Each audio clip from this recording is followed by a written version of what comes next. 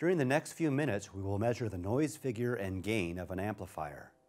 To perform noise figure and gain measurements with a spectrum analyzer like the Rohde & Schwarz FSW, a noise source is needed, which adds a well-defined and ideally white noise to the input of the device under test, or the amplifier in this case, or the, for the so-called excess noise ratio, or ENR.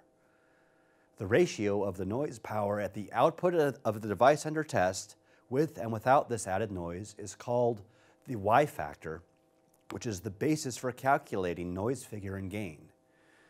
The output signal of a noise source has a slight frequency response and temperature dependency, and users normally have to load ENR tables manually into the analyzer.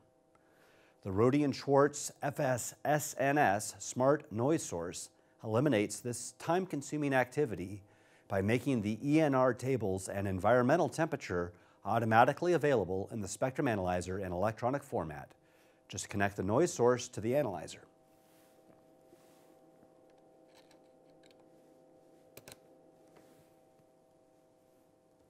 And now ENR, S11 parameter tables, and temperature are loaded into the instrument.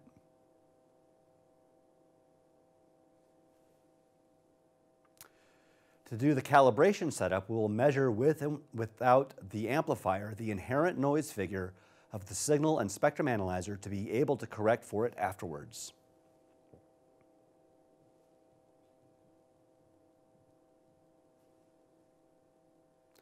Now we will connect the noise source with an amplifier and do the measurement.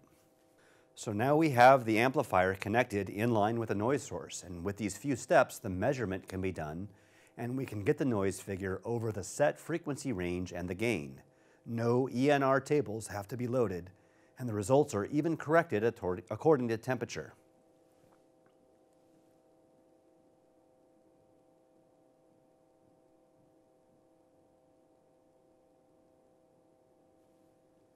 In addition, we can add the uncertainty of the measurement, which is calculated automatically, as well as using the ENR uncertainty and reflection coefficients, which are also loaded automatically.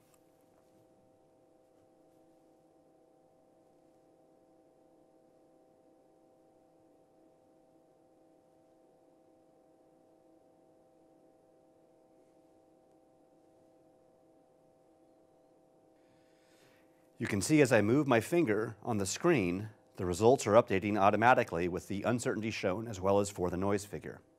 We just have to add the VSWR of the device under test to get the overall uncertainty calculated.